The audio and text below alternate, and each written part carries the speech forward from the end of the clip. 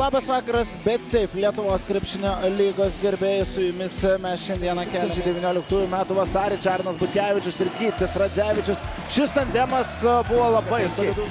Dabar Karniauskas apvagė Vitenį Čižauską ir greitoje atakoje iš viršaus minutės pertraukėjo poziciją ir šis Gedrių žibėno įimas buvo labai įdomus ir labai veiksmingas.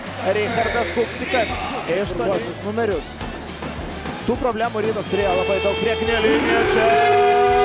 Vytenis Čižauskas iš trijų krepšį. Butkevičius ir nak puikiai, puikiai jaučiasi kaip žuvis. Nėra tikslus Normantas. Pataiko Margeris Normantas ir dar yra kelios.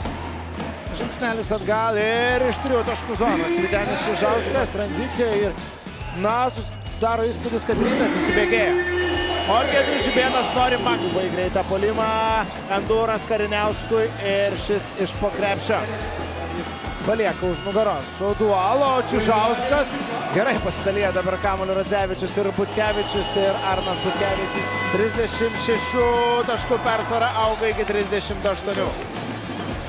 Jucikui šis pamato įkartantį Domantą Vilį ir vėl sudraskyta ryto gynyba. Ką reikia padirbėti nemažai jam. Čia Marius Valickas iš trijų taškų zonos. Vienas iš pozityvės. Smitas iki galo ir gerinasi savosius kliučių spydį.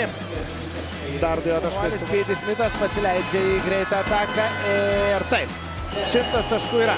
162. 168 tokį galima užfiksuoti rezultatą. Pačioje rungtynių pabaigoje.